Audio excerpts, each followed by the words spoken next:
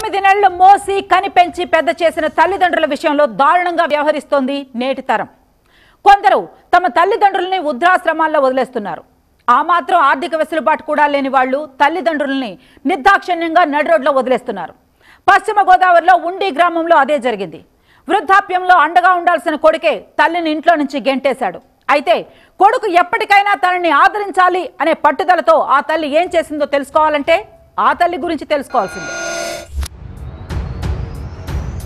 కన్నతల్లిని ఇంట్లోంచి గెంటేసిన కొడుకు. కొడుకుపై న్యాయ పోరాటం చేస్తున్న తల్లి.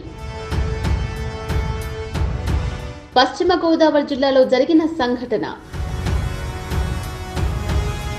కన్నతల్లిని రోడ్డుపై వదిలేశాడు ఓ కసాయి కొడుకు. ఆమె పేరు మీద ఉన్న భూమిని అమ్మేశాడు. ఆ డబ్బును తీసుకుని తల్లిని ఇంటి నుంచి బయటకు గెంటేశాడు.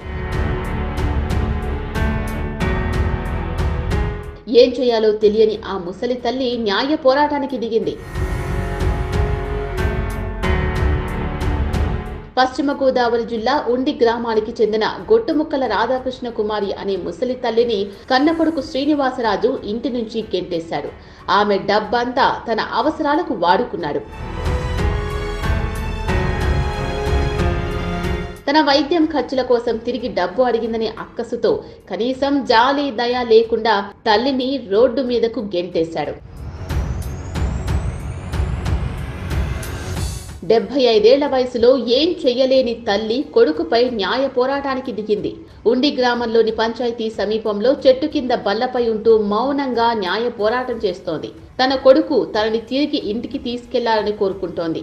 వయస్సు మీద పడి కదలలేక కనీసం తిండి పెట్టేవారు కూడా లేక బతికుండగానే నరకం చూస్తున్న ఆ ముసలి తల్లిని చూసి స్థానికులు జాలిపడుతున్నారు. పుట్టింటి ఆస్తి అమ్మేసి నీకు బ్యాంకులో వేస్తానమ్మా అన్నాడు. సరే అనుకున్నాను సరే అనుకున్నాను కానీ అన్నాళ్ళు చూసినా వేయటం లేదు.